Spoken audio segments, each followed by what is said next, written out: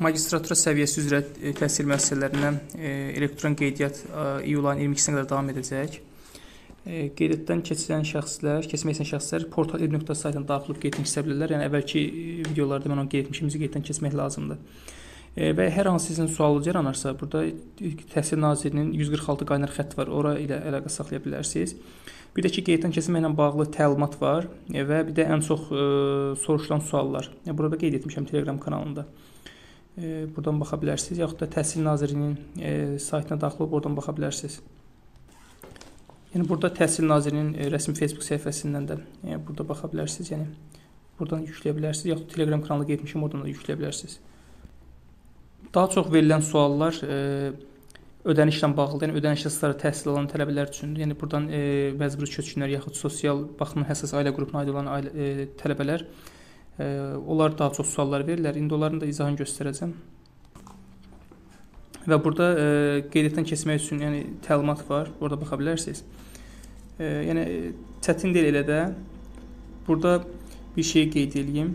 Yəni bu hissələri mən video şəklində qeyd etmişəm. E, daha çox verilən suallar ödənişlə bağlıdır. Ödəniş əsaslarından təhsil alan tələbələr üçün bağlıdır. Yəni sizin onsuz da təhsillə bağlı məlumatlarınız hər bir sistemdə avtomatik yerləşdirilir. Və təhsil haqqından azad olunmaq üçün müraciət səhifəsi. Bax burada bu təlimatda ətrafa baxa bilərsiniz. Yəni orada e, qeyd etdiyim kimi sosial baxımdan həssas əhali qrupuna aid olan ailənin ailədə olan yəni, namizədlər buradan baxa bilər ətraflı. Və təhsil haqqından azad olan hansı sənədlər yüklənməlidir, valideynlər haqqında məlumat qeyd olunmalıdır.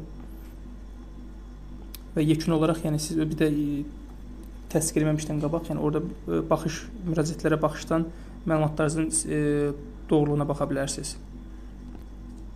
Bundan başqa ən çox soruşulan suallardır. Burada həmin suallara e, baxa bilərsiniz cavablarına.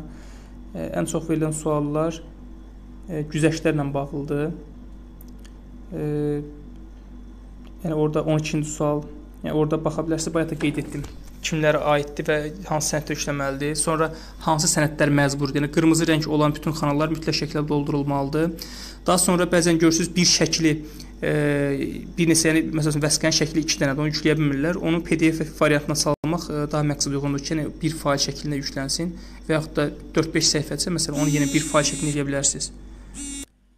E, yəni e, sənədlər çoxluq olduqda e, PDF şəklində salıb daha sonra yükləməyiniz məsləhətdir.